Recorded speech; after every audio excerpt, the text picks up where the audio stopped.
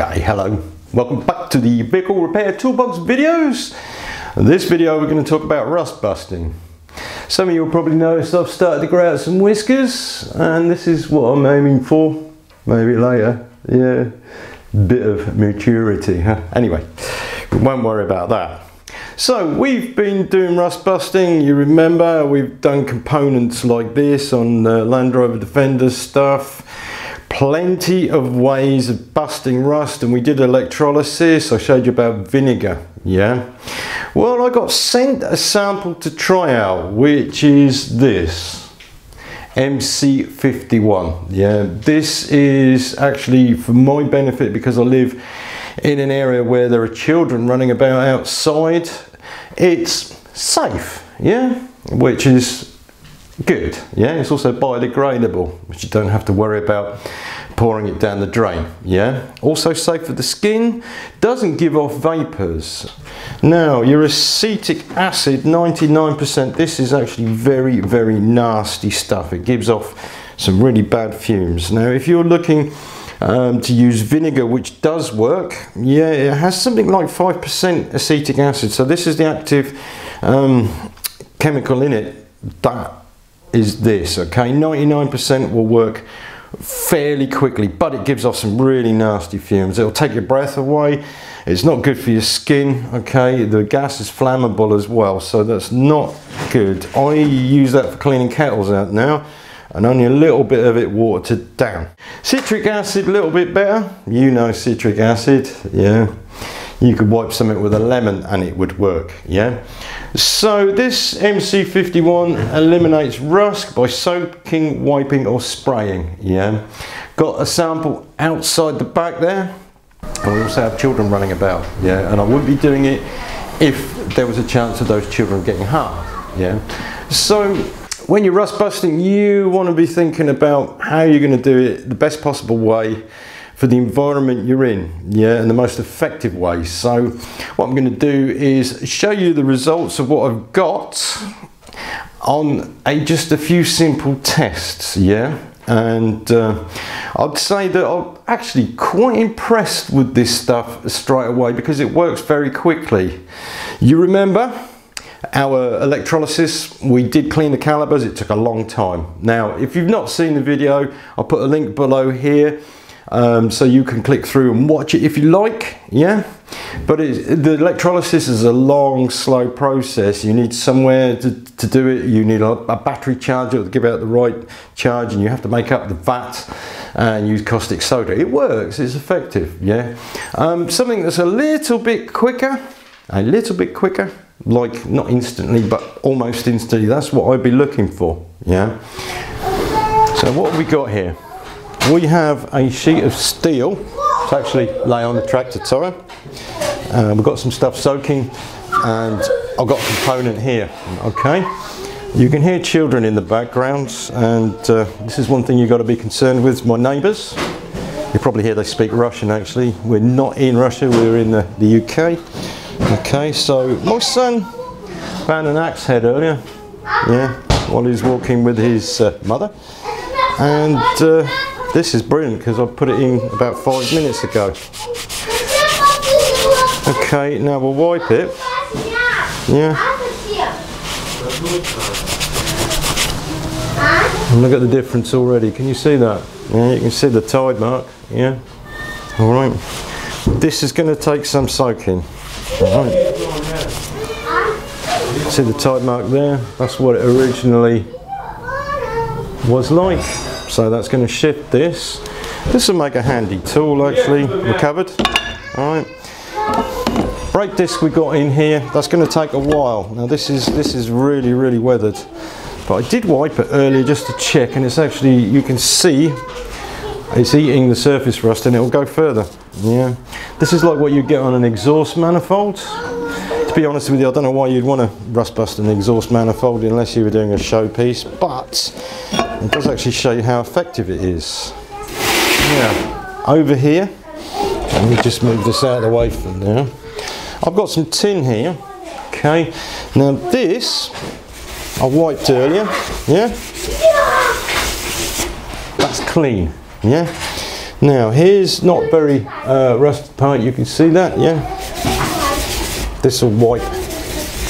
Okay, I'll just nick a bit out of there. This will wipe. Leave it for a little while. Oh, look at that surface rust coming off straight away. Yeah. It does work immediately, but you've got to have patience, yeah? I could actually do this whole panel if I had the patience, but I haven't.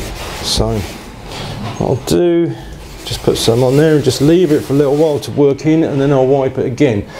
I know the effects are going to come out like this. Yeah, this is fairly uniformly rusty. It's been outside for a long while. This is a uh, repair panel to cut it up and do uh, welding on stuff. Yeah, so you can see this. What you also notice is that I'm not taking much care about my skin health, which I should do. And then of course there's the uh, stuff it's almost new that's got patches of rust on it, yeah? I'll just nick another bit out of there. Again, this is what it's good for. Yeah. This puts the value up on this component, yeah? Because it was sitting around in the garage, managed to get a few splashes of water on it, and it started to rust like this as well. Yeah, I think you guys probably remember that I did uh, some stuff on uh, Defender brakes. Yeah. When this is finished, you uh, you wash it off with water. Yeah, it's water soluble, okay, and you can put it down the drain, so it's uh, environmentally safe. Yeah, Can you see this? How I'm cleaning this is uh, it's pretty good, and it's damn effective as well. Yeah. I mean, what else would you use? Something like a wire wheel, whatever? Don't know. You can hear the children playing in the background still, yeah? It's alright. That's what it's about, yeah?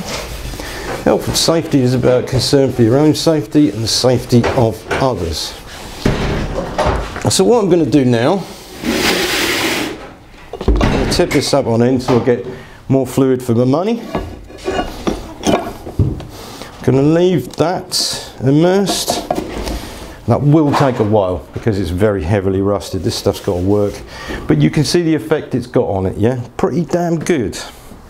We're on 45 minutes for the brake, disc and I think we'll leave that a few hours, okay? And then I'll come back and we'll sort it. After three hours, I didn't actually take this out and wash it. Yeah. Here's this.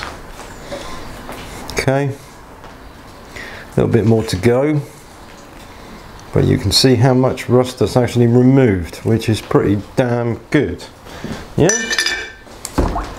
The brake disc also, I did wash it. I thought I'd check it.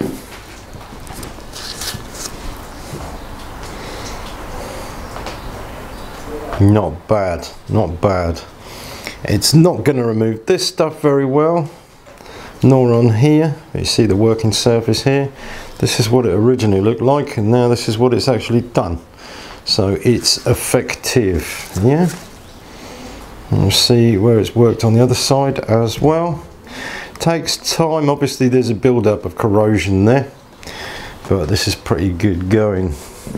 One thing you've got to be aware of is that any of this rust stuff Okay, when you have pitting, it's eaten into the metal a bit more. So down here and down here, that will need a reapplication and then a scrub off. Okay, a bit of a white brush might do it, but when you see it's gone black, you know damn well that the rust has been worked on, yeah? Okay, so in conclusion, we look at the, the brake disc that is very heavily um, corroded, will work, use a white brush, remove most of the heavy stuff and it will work much better. Yeah. With the axe head, good.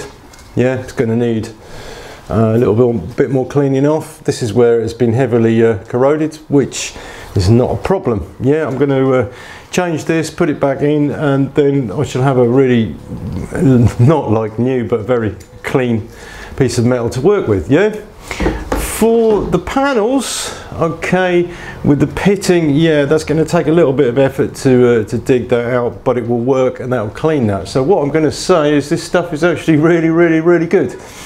There's not much more I can say about it. I've reviewed it now. This is the test and it's done, the acid test, if you like. It's good. Yeah, it's very, very good.